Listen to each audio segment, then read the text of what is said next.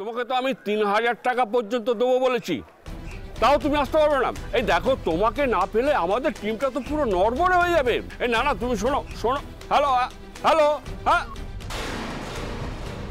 কেটে দিল কি আশ্চর্য।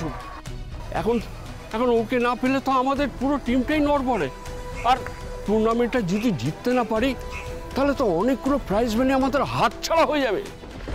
কি আশ্চর্য এই মুহূর্তে আমাকে এইভাবে ছেলেটা ডোবালো?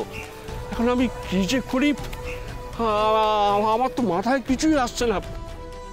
হ্যাঁ এই মুহূর্তে যদি জয় বলে ওই ছেলেটাকে পেতাম তাহলে খুব ভালো হতো।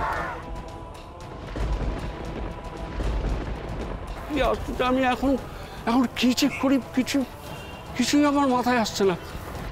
উনি জয়কে খুঁজছেন? তার মানে উনি আমাকে পেলে এক্ষুনি খেলতে নিয়ে নেবেন। আমি জানতাম ঠাকুর, তুমি আমার থেকে মুখ ফিরিয়ে নিতে পারো না। তুমি ঠিক আমাকে খেলার সুযোগ করে দেবে। আমি বড় এক কাজ করি। ওনার কাছে যাই, একবার ওনার সামনে গেলে উনি নিশ্চয়ই আমাকে চিনতে পারবেন। আরে না না, আমার একজন ফরওয়ার্ডে খেলার জন্য ভালো প্লেয়ার দরকার। হ্যাঁ হ্যাঁ আরে বাবা, ওকে না পেলে আমাকে কে মুখের সামনে এসে দাঁড়িয়ে যাচ্ছ? হ্যাঁ হ্যাঁ আরে হ্যাঁ ওকে না পেলে আমাদের টিমটা তো পুরোপুরি ডুবে যাবে। হ্যাঁ?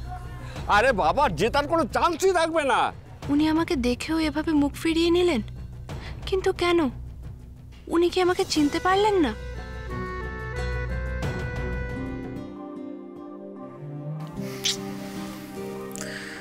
কখন বললাম আসতে? কখন থেকে একা একা বসে আছি? এরকমভাবে ভালো লাগে?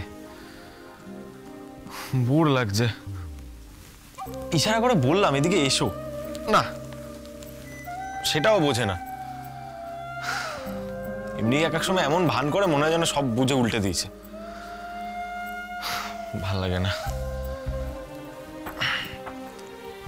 শাড়িটা অর্ডার করেছি আমি ওকে বলব না। শাড়িটা আসুক তারপর সারপ্রাইজ দেবো। মাস্টারমশাই বলো না আমাকে? মাস্টারমশাই নাকি সেটা এলেই বুঝতে পারবে।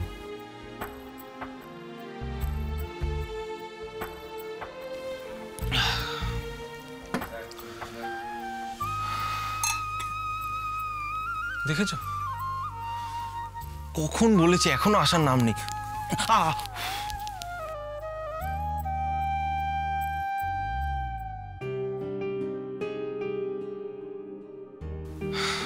কেউই তো নেই। আরে, বাড়িতে তো কেউ নেই এখন।